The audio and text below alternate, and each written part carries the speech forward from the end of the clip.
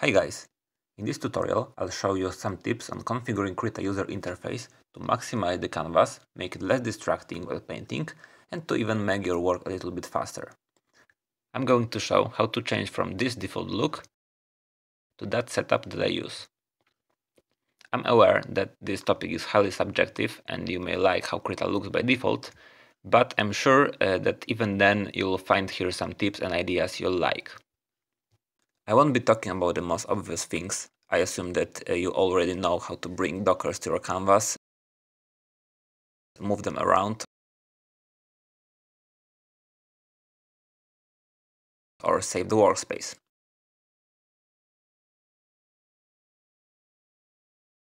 I want to focus about those less common changes that you can make. Okay, so let's jump into it. In the settings, you can find some color schemes available by default, but you can easily import and create this on your own. Navigate to Settings, Manage Resources and click the Open Resource Folder button. This way, you can open the folder in which Krita stores all its data. Brushes, textures, add-ons and more. So if you've never been here before, pin it or remember how to reach it. Here you can find this empty color schemes folder. This is where we will put our first custom color scheme. The first one has to be downloaded of course. Just go to my resource folder where you can find my color templates. The newest one is this redesign file. Once you add a new color file to the folder, you'll have to restart Krita, as everything from here gets loaded only at the start of the program. But if you're editing the color file, it's enough to just pick the theme once again to update it. You don't need to restart Krita. Speaking of editing the file, if you open it with any text editor, you'll find all these colors in hex code that Krita uses to color the interface. It's a general type of file and Krita uses only some of these records. I used only gray colors, so in my template you can easily identify those variables as they have the same R, G and B values. Finishing off the color topic, the color in the canvas is not taken from those files. You have to manually set the main canvas and sub-window background in two places in settings. Speaking of sub-windows mode, basically we have two modes to display multiple documents. The default one is tabs, where you have to pick one open document you want to display. But there's an alternative to that, which gives way more flexibility in different workflows and I personally really advise to try it. You'll find it in the General tab of the settings. Now, when you open more than one document, you can have all of them displayed at once. You can go to Window, Tile to organize them. The active document always goes to the left, so just grab one of them with a middle click and repeat the tile action if the order was wrong. Then it's easy to adjust their width. This way you can have individual control over your reference images or open another view of your document. If you change the soft proofing profile from CMYK to grayscale, you can even get a desaturated overview by pressing Ctrl Y. As we are already in settings, this one was talked about many times, but I'll show it once more. If you want to have more brush presets than 10 in your pop-up palette, just go to settings and change the value in general miscellaneous tab. Nice and simple.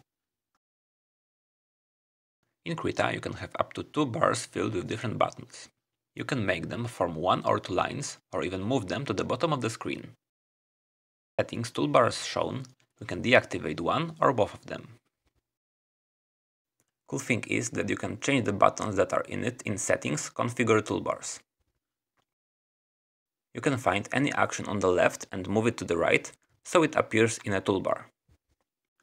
Note that these expanding spacers let you align the whole thing to the left, right, or center it.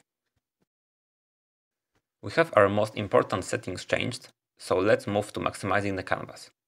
First and a bit obvious thing is the full screen mode that you can get with the Ctrl Shift F. This allows you to get rid of all the system information, in some cases even making Krita faster. Then, if you learn how to use virtual desktops, you can stay in it forever. The second option is the canvas only mode that hides the interface elements.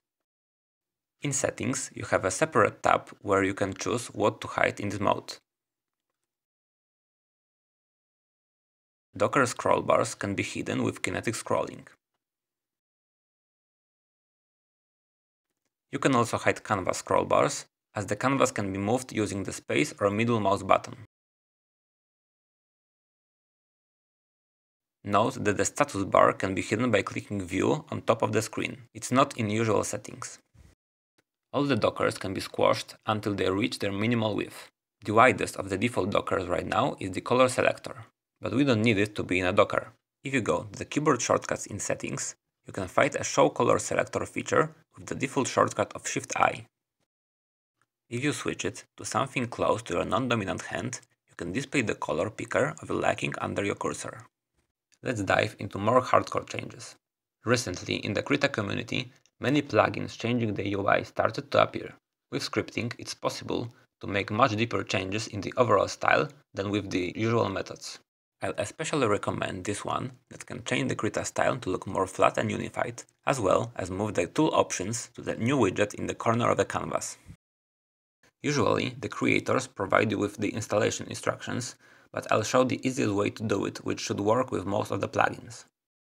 We navigate to the plugin page and download the zip file with the add-on.